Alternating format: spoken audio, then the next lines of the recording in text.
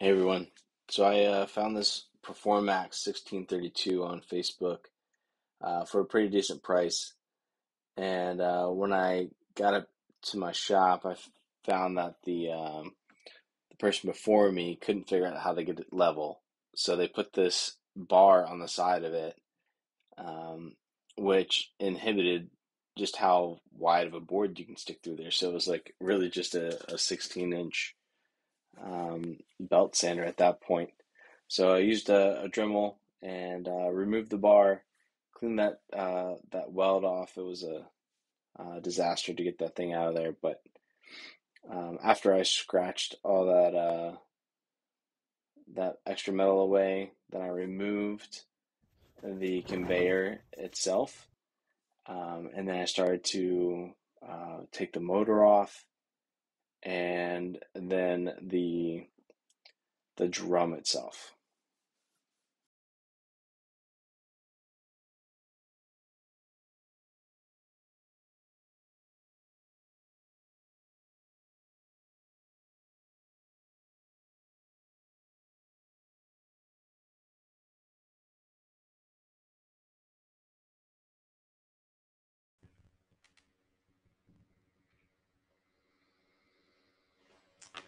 Between the drum and the motor, there's a coupling.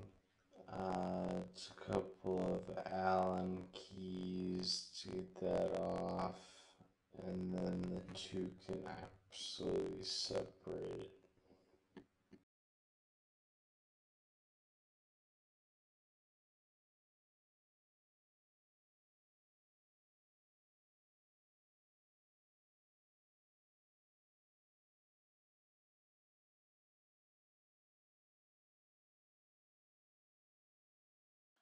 Right about here, you should be putting some blocks underneath the drum, and if you had a second set of hands for the motor, that would help out.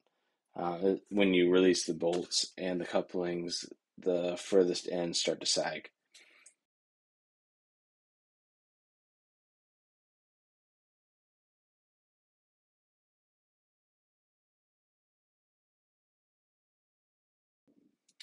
Once everything's removed from the cart, uh, took a vacuum and uh, just a foxtail brush, got all the the dirt off, the the sawdust, sprayed it down some Windex, scrubbed it with a paper towel.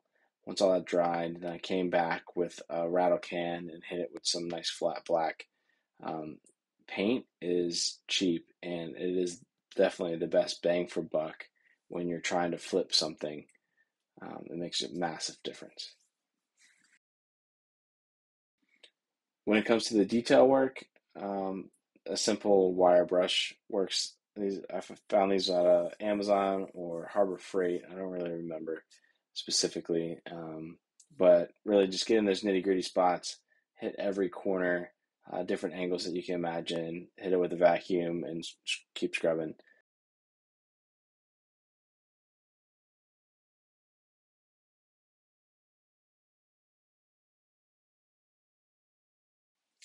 Uh, anything with a screw on it, got a squirt of T9. I'll put a link in that in the description. Uh, it's my go-to lubricant for anything that's going to come in contact with with dirt, dust, uh, and whatnot.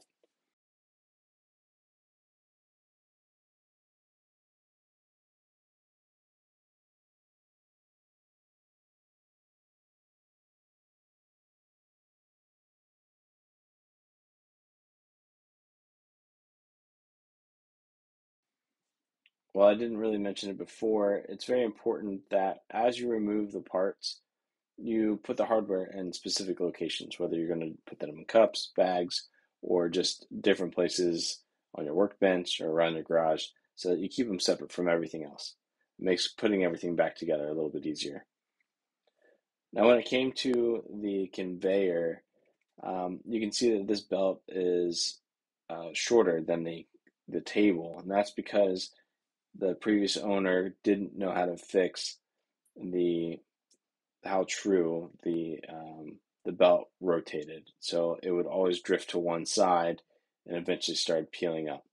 Uh, so after a quick clean uh, cleaning of this, I uh, I got a new belt off of Amazon. I'll link to that and um, put everything back together and slapped it back on the machine.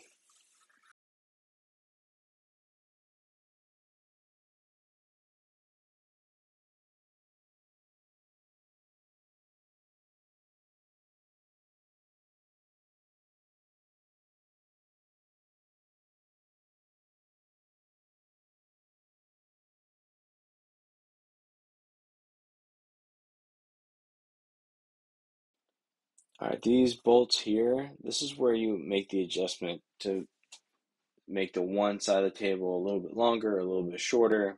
There's a rod here with a nut and um, two lock bolts that lock it into position.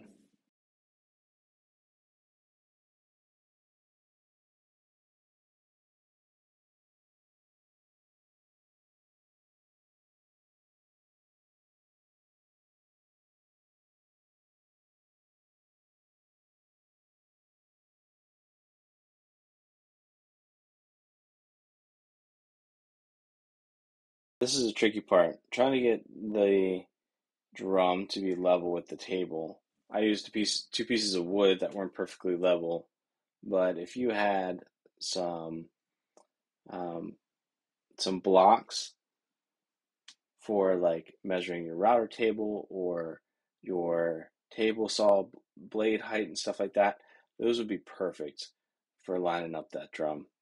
Um, at the end, it, it doesn't completely matter because you can fine tune everything, um, but that would have just made this process a lot quicker. I, I probably spent another um, hour or so tweaking and fine tuning the uh, the levelness of that drum.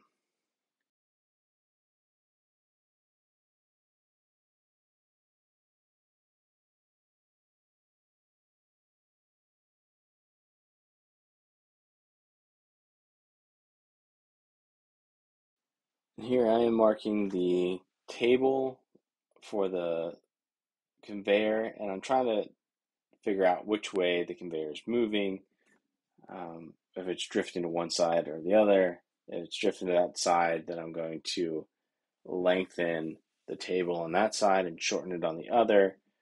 Um, and making small adjustments is the way to go here.